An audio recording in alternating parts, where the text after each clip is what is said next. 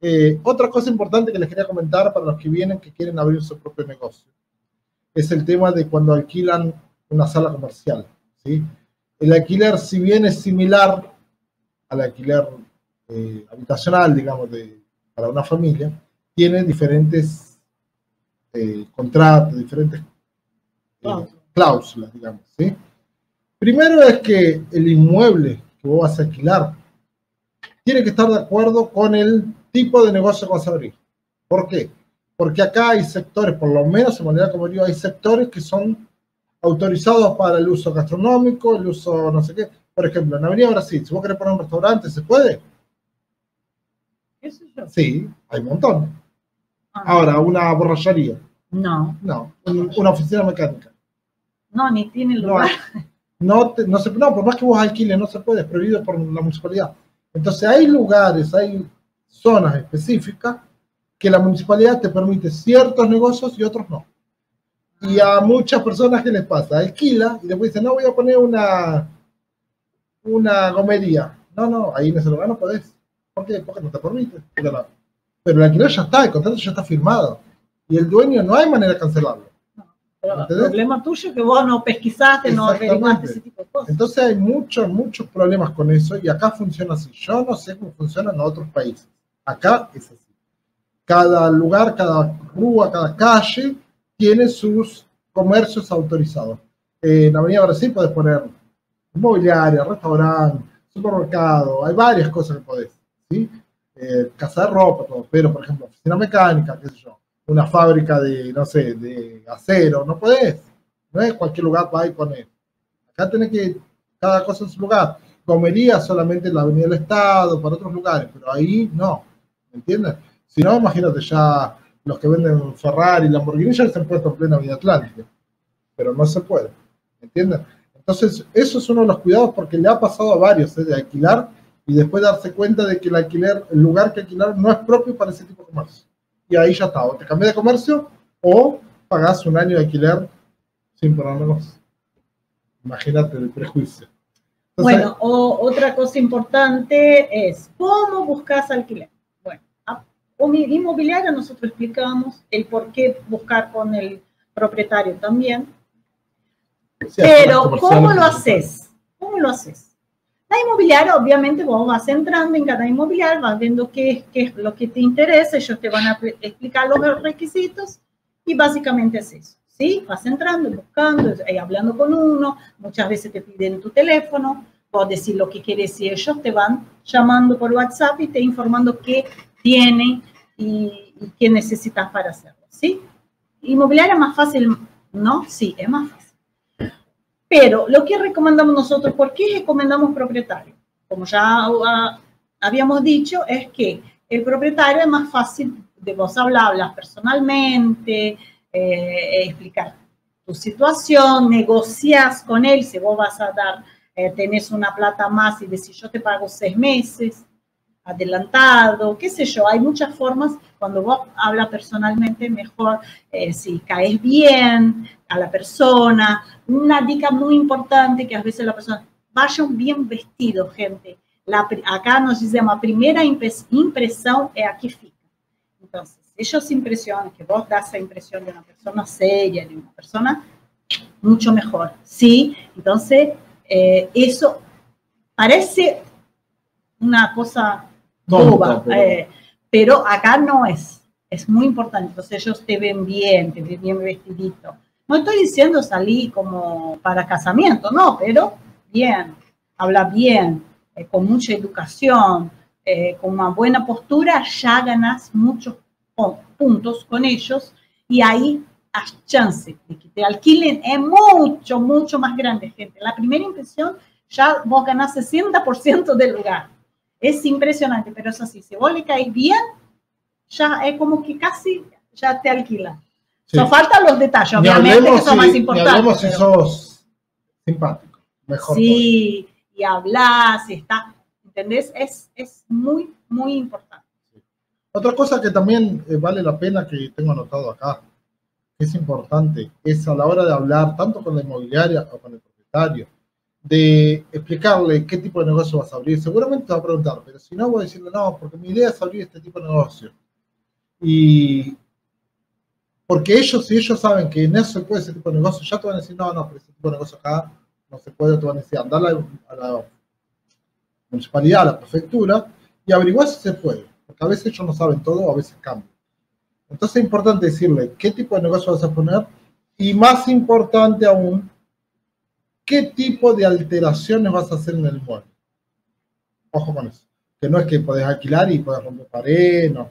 Vos tenés que hablar con el propietario y decirle, no, porque acá quiero poner una pared de Durlock, acá quiero abrir, poner más iluminación, no sé qué, y él te va a autorizar o no. ¿sí? Hay propietarios que permiten y hay propietarios que no. Vos podés cambiar el piso, si quieres levantar el piso y lo cambias, pero él te va a tener que permitir. Inclusive él tiene derecho a decirte, no, te permito, pero si pones uno del mismo color, si no, no. ¿Me entendés? Eh, no, quiero pegar una alfombra. Bueno, te va a decir, bueno, pegala, pero a la de salir vos me dejas un piso nuevo. Entonces, todos esos detalles, usted tiene que hablarlo previamente, antes de cerrar contrato.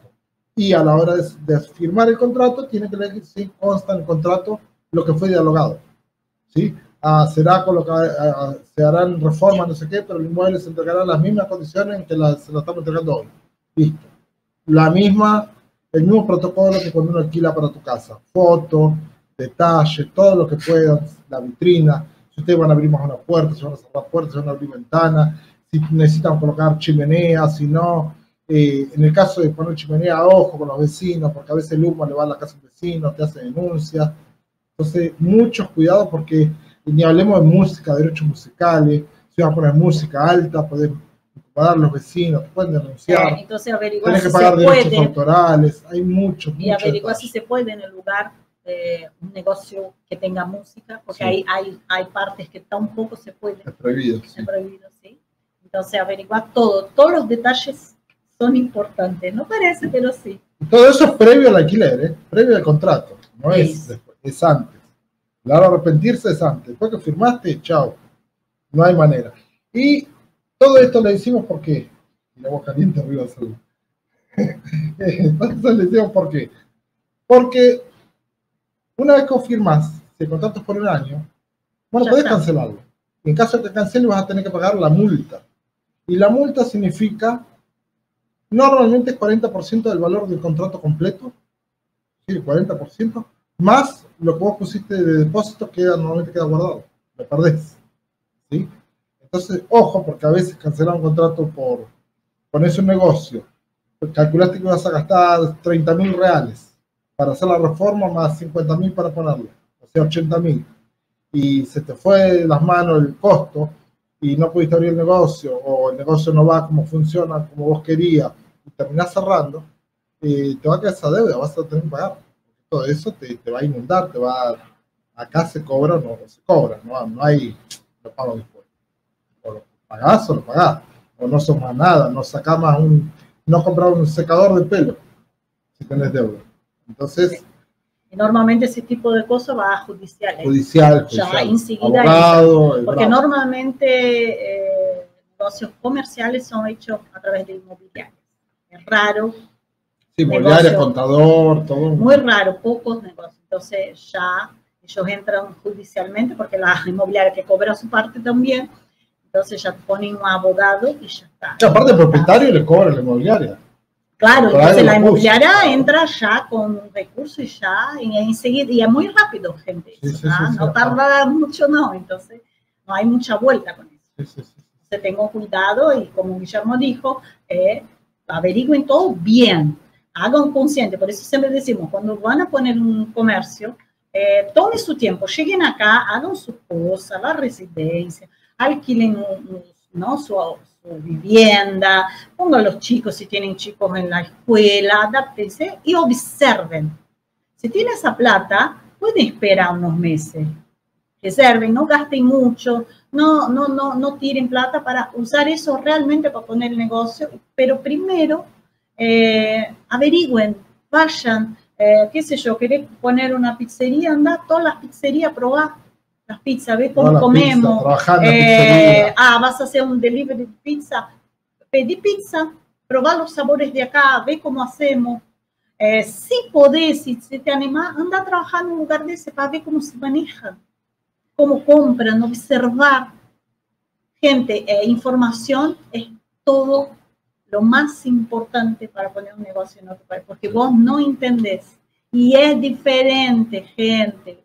Vemos mucha gente poner y dura poco porque no entiende cómo es acá y quieren creen que es igual a su país y no es, gente, es muy diferente. Sí, normalmente vienen es con, difícil nos, a- hacer entender eso. vienen con la idea ya marcada, o sea, ellos vienen diciendo, ah, voy a poner un, un kiosco.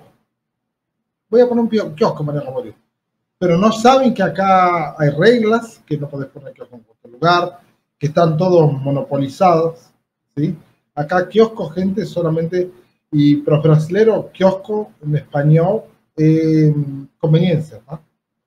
Eh, acá la mayoría están o en las estaciones de servicio o frente al mar, que ya está todo, no, no hay kiosquitos, no existe acá, no existe.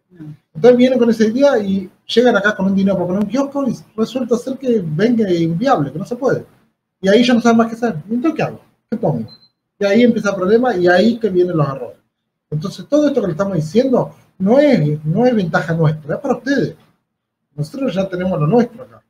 Es para ustedes, para que ustedes no pierdan plata, para que ustedes hagan todo de la mejor manera posible y que les salga todo lo más económicamente posible y que se equivoquen lo menos posible. Se van a equivocar seguramente, pero lo menos posible. Por eso estamos hablando todo esto para ustedes. Para tratar de ayudarlos a que van a tropezar, pero para que no caigan. Apenas para que tropiecen, pero sepan lo que puede pasar. ¿sí? Y a veces muchos dicen, eh, pero qué mala onda. Eh, no es mala onda. Uno lo dice para, porque sabemos, han venido más de 100 familias acá. Hoy en día somos 96, creo, 97 familias, pero muchas más de 100 han venido y se han vuelto por equivocarse y no sabían, no tenían plan B. Plan B es poco dinero, o plan B no saber de qué poner negocio, o plan B de que no pensaban de que iban a terminar tanto, plan B de que el marido entró en depresión, plan B de que la mujer quedó embarazada, en fin, miles de casos diferentes. Entonces, tener un plan B sería poco. Interesante sería un plan B y un plan C. Y un plan de emergencia. Y No, si pierdo eso- la plata, ¿qué pasa? Y bueno, Eh. trabajo. Eso, gente. El plan, yo creo que el plan es hacer lo que tenés que hacer. No salió bien, salgo a trabajar, de lo que sea. Y así, y haciendo lo que tenés que hacer. Ese para mí, para mí particularmente, si es lo que vos querés, es estar acá y es vivir acá en Brasil, ¿no? Como todos nosotros, eh, muchos de nosotros eh, lo hicimos, ¿no? Porque no es fácil cambiar de país y vos sabés que te cuesta adaptarse. Gente, para que vos tengas noción, para que usted tenga una idea de cómo es, tarda un año para más o menos vos decís, "Mm, me adapté. Pero dos años en realidad para vos decir, sí, estoy acá, soy de acá, me siento de acá, me adapté, sé cómo funcionan las cosas. Dos años. Y la gente viene en uno o dos meses y quiere saber todo, cree que sabe todo y ahí se manda unas cosas y se equivoca. Cagada, semana, cagada. Que nos bloqueen, ¿Eh? está el problema.